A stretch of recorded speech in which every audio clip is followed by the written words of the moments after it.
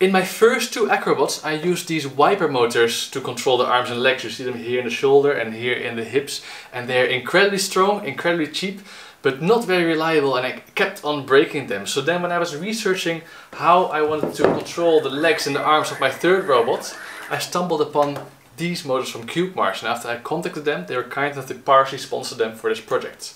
I've been using them now for half a year, but have they solved all my problems? Hi, my name is Daniel and you're watching the second in a short video series where I explain different aspects of the Acrobot. This is an acrobatic robot that I perform with and I'm originally a circus artist but thanks to YouTube videos I was able to learn robotics and with these short technical explanations I want to give back to this community. So this one is about the motors but if you don't want to miss out on the electronics and the frame and the 3D printing and whatnot make sure to subscribe and you'll see them all. The difference between a normal DC motor and this motor module is that a motor normally only spins forwards or backwards, whereas this module has a motor inside, in this case a brushless DC motor, but also has a gearbox, in this case 10 to 1 ratio, a bunch of mounting holes, an encoder, a motor driver, all integrated in one neat package. Of course, a wiper motor also has an integrated gearbox and with an external motor driver and an external encoder, it's still a very useful tool, so useful in fact that I made a whole 25 minute documentary technical explanation going into the details of how to control these. You can watch this video, there's a link somewhere in the description. They are also both similarly powerful. They have about 25 newton meters torque each, which is crazy strong. For comparison, a small hobby servo like this, if you've ever, have, ever held one in your hands, you notice that it's already quite tough to hold back.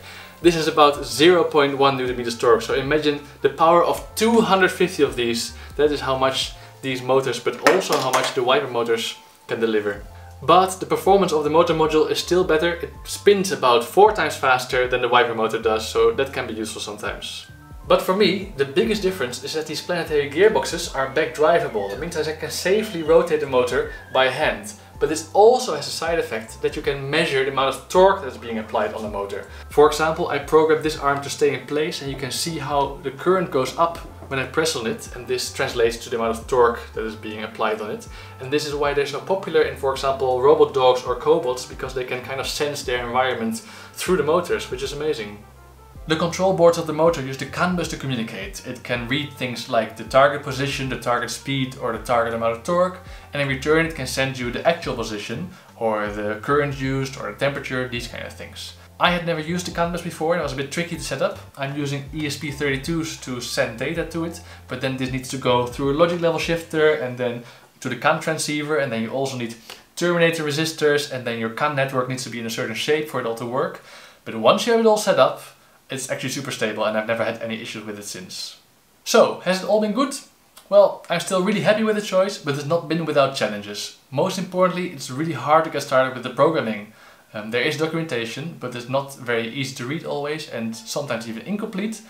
And it's really easy to make mistakes. Even now that I know a little bit better how they work, I still sometimes make programming mistakes. And because these motors are so powerful, those mistakes can sometimes get quite dangerous. There was also an issue with the encoder. The motor has an absolute encoder, so it should know at all times exactly what position it is in. But it turns out that the encoder is mounted on the input shaft, not the output shaft. And the input shaft spins 10 times for each full revolution of the output shaft. So if you disconnect the motor and then move it more than a tenth of a circle and then reconnect it, you don't know exactly what is the direction of the output shaft. There are other motors from CubeMars that do have this feature, that they have a second encoder, but I didn't read the documentation carefully enough. But then my friend Esmee suggested we solve this with a magnet mounted in the arm connectors and the magnet passes by a Hall sensor that we mounted in here. So then whenever we pass by the Hall sensor, uh, the magnet is detected and then we know that we are within this tenth of the rotation and then the absolute encoder takes over and can tell me the precise uh, rotation between this tenth of the circle and then from there we can calculate the whole circle. It's a bit of a hassle but it works perfectly. We just have to always calibrate it after we start up. We need to pass by the sensor so that the arm knows in which tenth of a circle it is. And then my last challenge is with the mounting holes. They're very shallow and they take an M3 thread, which is very fine. And then I want to mount these arm connectors on them, these 3D printed ones. But because the robot vibrates so much, everything comes loose out of them and I can't tighten them very well. And I even tried to secure them with permanent Loctite, but still they vibrated loose over time. Right now we're considering to replace the 3D printed part with a metal part so that we can tighten it perhaps more and the material doesn't flex so much. but I'm not sure yet if that's going to work. In the end, because these motors give me so much control and are thus far so reliable, I still think I made the right choice for using these for my Acrobots. There's still so many things that we didn't talk about. For example, the software that you saw me use, or the battery options that you have for these, the load ratings, the mounting options. Um, so if you have questions about those, feel free to leave them in the comments, perhaps I can help. Also, um, CubeMars has been very helpful and communicative with me, so I'm sure you can also ask your questions directly to them.